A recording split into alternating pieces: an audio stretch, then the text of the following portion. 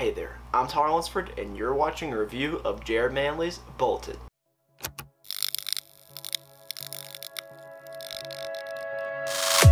What is up viewers people, my name is Tyler Lunsford and welcome back to another magic trick review here on the channel. Now if you're new here then definitely please consider subscribing and take a look around the channel at my past reviews. Now if you are new here then welcome, thank you for stopping by and spend some time today, I really do appreciate it. Now without any further ado, you know what, we're not going to talk anymore in the intro, let's go ahead and get right into this review of Bolted, which is a cool card to impossible location right now. One more thing before this video does get started, I do want to say this product was sent to me by Abstract Effects to be reviewed, but they actually don't sell this product on their website. They're not a full retailer of Magic, which means they only sell their own stuff, so you know that you're truly getting an unbiased review right now when you watch this video because they don't even sell this product. They're helping me out with the channel, helping me buy some more Magic so that way I can do these reviews for you guys and put out more reviews for you guys. So thanks so much to Abstract Effects for helping me out, and hopefully you get something out of this video as well. So let's go ahead and get right into this video. First off, you need to know what actually is Bolted. Well, Bolted allows you to take a randomly signed card and make it disappear with no hesitation, pull out a locked case with the very same signed card inside. There are many different ways to reveal Bolted, including from a pouch, a tuck case, and even your back pocket. There's no forcing, no duplicates, you can use it with business cards and predictions, and it includes a sleight free handling for absolute beginners. The Bolted tutorial contains multiple routines geared towards every skill level. Whether you're a complete beginner or a seasoned professional, perform the routine that works best for you. This is the perfect way to finish any signed card routine, and the best part, you can hand it out immediately afterwards so there is no doubt that their signed card is bolted inside. The tutorial video you receive is a massive two hours long and on there you're going to learn all the stuff that I just talked about and more about how to care for your gimmick and all that good stuff. You also receive a felt drawstring bag and another gimmick that will help this trick work. Now that you know what bolted is and what you'll be receiving, let's talk more in depth about some questions you may have such as how difficult is bolted to perform. It's actually not too terribly difficult to perform depending on which version you're doing.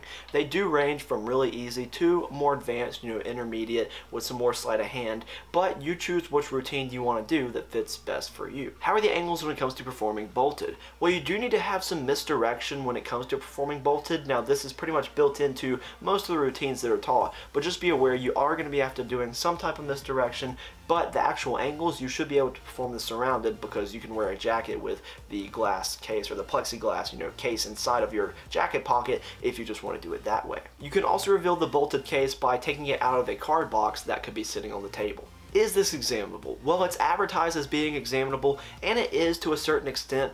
I would not let my spectators hold this for too terribly long because they might find out something after holding it on, you know, after holding on to it for quite a while. So obviously don't let them hold on to this for that long because then they probably will find out something. Are there any negatives when it comes to performing bolted? Well, the quality is pretty good, but I know some people have been talking about how theirs have fallen apart and they had to glue some things back together, but mine has been good. I just want to say that, but I do just want to make you aware of that. Other people have been having an issue with the quality, but it is Murphy's Magic, and usually the stuff they put out is decent quality. It's pretty good quality usually. So if you have any problems with that, just reach out to the magic shop you bought it from, and I'm sure they'll be more than happy to assist you with that. Now, some other negatives, I think it's a bit weird that this card is bolted inside and you can't take it out afterwards.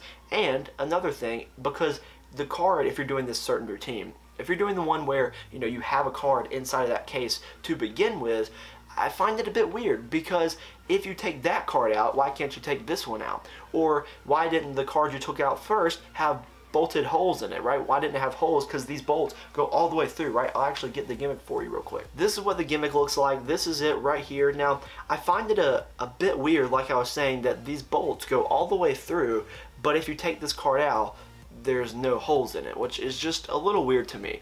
Another thing is if you let your spectators hold on to this for too long, which is just what I was mentioning, they might be able to find out something, so just be careful with how long you let them hold on to this, because if they start pulling in all sorts of different ways, they might be able to find something. What are the positives when it comes to performing bolted? I love that they teach you so many different ways to use this bolted gimmick on the downloadable tutorial video, which is, like I said, two hours long. It's a massive video that you can watch and learn all about this gimmick through, so I did appreciate the detail in that. Another thing is just, it's just a cool card to impossible location, and there's so many ways to do it, which is nice. What should this retail as? Well, this currently retails as 50 US dollars, and is that a fair price?